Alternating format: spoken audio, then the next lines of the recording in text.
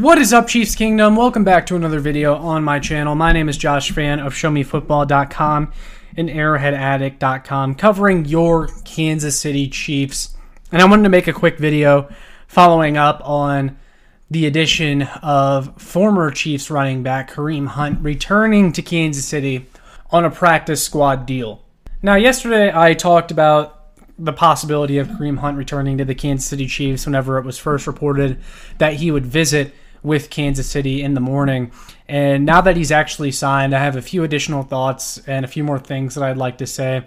And we're just going to kind of analyze the Kareem Hunt signing from what it is. So, of course, he goes to the practice squad. Now, most of us expect him to be called up to the active roster at some point. I'm sure the Chiefs want to see him in practice for a little bit, get him up to game speed before they elevate him to the active roster. But there's zero doubt in my mind that Kareem Hunt is going to be on this active roster sooner than later. I mean, you need him because with Isiah Pacheco being out, your running back room is Carson Steele and Samaje Perine. You just need more than that. I mean, Carson Steele is a rookie once again. I think a lot of us like his upside, and he really flashed in preseason, but still a rookie. And there's a lot for him to learn, as well as Samaje Perine, who also hasn't really been in this offense for very long. I mean, you want to talk about Kareem not knowing the playbook or the offense yet? Neither does Samaje Perine, really. He hasn't been here that long. He was only picked up after cutdown days, um, just short of the Chiefs' opening game against the Baltimore Ravens. So Kareem Hunt has just as good of a chance as anybody else in this running back room to contribute. And that's the big conversation going on right now. Now that Kareem Hunt is officially a part of this team and a part of this organization, a lot of people were still skeptical that it was going to happen, and they're still skeptical of what his role exactly is going to be. So, firstly, he's back in Kansas City. Like that that was the first big hurdle, right? He's back in Kansas City. Andy Reid, Brett Veach, and Clark Hunt all supposedly signed off on this, which is surprising to a lot of people because of how everything went down the first time. Hunt lied to the organization about what happened, and that video came out from TMZ of him kicking a woman in a Cleveland hotel, and they said that at least Clark Hunt said that he would never play for the Kansas City Chiefs ever again but that the team would help him find a new landing spot. But then Brett Veach kind of walked back those comments from Clark Hunt, saying that you know you never want to completely shut the door on anything, and there is the possibility down the line that Kareem Hunt could return to the Kansas City Chiefs. And fast forward some years later, here we are. He's back in Kansas City after it seems like he's taking care of himself off the field. And yes, he did have that one incident in Cleveland where he got pulled over by a police officer because uh, he was in a bad place and he was depressed that he wasn't still a part of the Chiefs organization. But really, since then, he's cleaned up his act. He's been fine since returning home to the Cleveland Browns, and he had some productive years there. But he never quite returned to the same form that he had when he was with the Kansas City Chiefs, a guy that we all thought could be a franchise great running back. And he will never be that at this point because we have to temper expectations. We're not getting 2018 Kareem Hunt back, and a lot of people are debating how much of an impact he'll really have. Yeah, his yards per carry weren't great that last year in Cleveland, but he joined Cleveland off the street after the Nick Chubb injury, and he didn't have a preseason, he didn't have a training camp.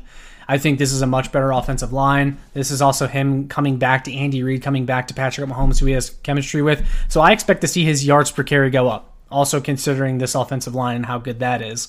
Uh, I expect the yards per carry to go up. I expect the production to go up. The efficiency, all that's going to get better with Kareem Hunt coming back to the Kansas City Chiefs, in my opinion. Has he lost some juice? Absolutely. He's lost some juice. He's not super fast anymore, but he never was super fast. But I still think that ability to break tackles is there. Like that hasn't gone away. That doesn't necessarily go away as fast as your athleticism is going to go away. Yeah, his speed's not there, but I mean, he still has those big legs. He's strong. I think there's going to be a lot of power running with the Chiefs running game now with Kareem Hunt being back in the fold. I mean, just with how strong of a runner he is, I, I still think the strength is there. And then I mentioned it in my other video that I did talking about the potential of Kareem Hunt returning, but he had nine touchdowns last year. I think this is someone that's going to help out the red zone offense. He's going to be a safety outlet in the passing game. He was a great receiving back that first time around with Kansas City, and I think he's going to provide a lot in the receiving game still. He's going to be a great pass blocker, and that's about all you can ask out of any free agent running back that is available at this point. I also said this in my last video, and I'll say it again for those that missed it. But something that you're going to get out of Kareem Hunt that you couldn't really get out of any other running back that was available at this point is you're going to have a guy that is so damn determined to make things right in Kansas City. His heart and soul is with this organization. It was the entire time he was in Cleveland. I'm sure he had a good time in Cleveland. Cleveland is home for him. But in the back of his head, there was always that thought, man, I could have been with the Kansas City Chiefs right now going for a three-peat. And you know, uh, he has the opportunity to make things right, and I think that's going to make him extra motivated. We're going to see an angry, determined Kareem Hunt that he's out for redemption. And the last thing I'm going to say about the Kareem Hunt signing is it just feels right having him back in Kansas City.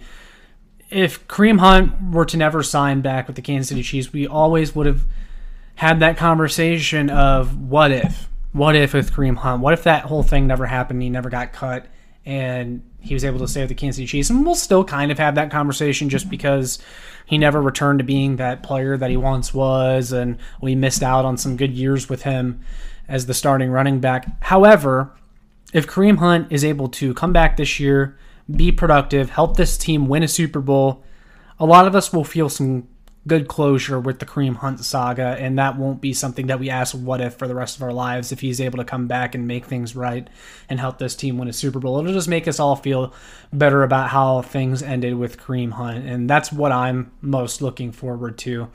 Uh, it's great for all parties involved if that happens. So, those are my final thoughts on the Kansas City Chiefs bringing back running back Kareem Hunt.